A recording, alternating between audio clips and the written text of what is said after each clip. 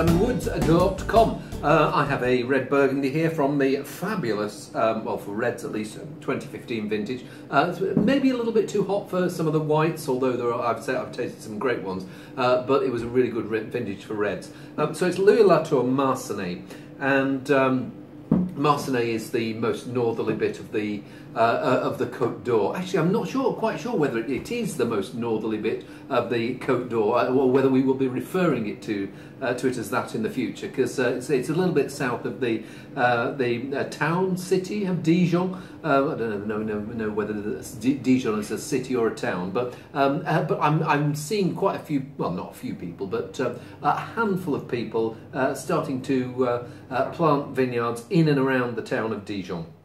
Um, but anyway, well, this is Marsannay, step further further south, and I believe it's unoaked, um, which is, uh, I mean, I, I, wouldn't say red Burgundy was a massively oaky wine, but a lot of the wines would uh, would spend some time in cask just to uh, soften out old casks that uh, don't give a woody ele uh, elephant element, um, but um, which uh, which succeed in softening the wine. So let's see what it's like in its um, élevage free no, élevage free in its uh, unsoftened. No, I'm, I'm, I'm, waffling here. I better just sniff it, hadn't I? And uh, come back to you in a moment.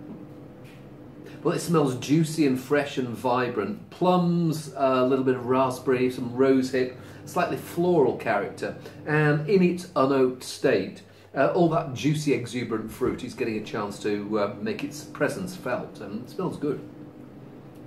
So it's got those those um, those flavours that I was smelling, the, the raspberry, but it's going in that raspberry confit, slightly cooked raspberries.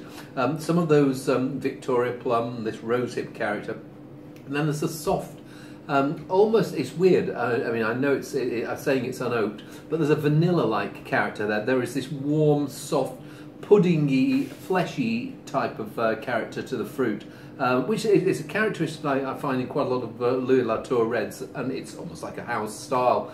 Um, and um, so it's good.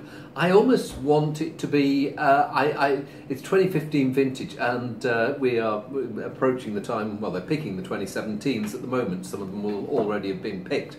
Um, I almost wanted to see it like in its younger and even crunchier style, because um, uh, there is this bounciness about the aromas. Uh, when I come to taste it, maybe um, it's lost a little bit of that youthful vibrancy, and it'd be interesting. I don't know when I'm, I'm getting it when it's just gone past that dip of um, Here I Am in My Youth and it's slightly not awkward and gawky adolescent, but um, I, I, I, I, I'd be very interested to see what it's like in about two or three years' time. As it is, um, I just pulled the cork, uh, and uh, I think I'm going to enjoy drinking the rest of the bottle. Not me on my own, of course, uh, but um, yeah. But interesting that they, they they've chosen not to to put oak there, and. Why? No idea. But um, I, as I say, I think I'm going to enjoy the bottle, oak or no. See you soon.